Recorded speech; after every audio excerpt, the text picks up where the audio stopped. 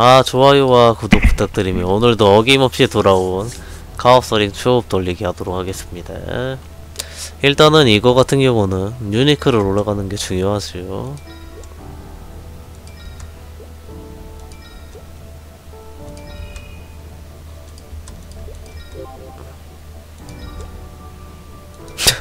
어, 근데 그래도 언젠간 올라가겠지 하다 보면은 그래도 아, 아, 안 올라갔습니다.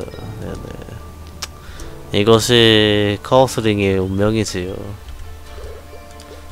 오늘 같은 경우는 이제 옵션을 띄워야 되는데요. 음, 원하는 옵션이야? 뭐 구형력을 원하는 거지. 아, 아 그거 끄면 더 좋고. 얘는 끼이는 템이라서. 잘 나오면 좋고. 아, 아, 자, 자법이고. 66 힘이 나와야죠 은어는 힘이니까 힘6%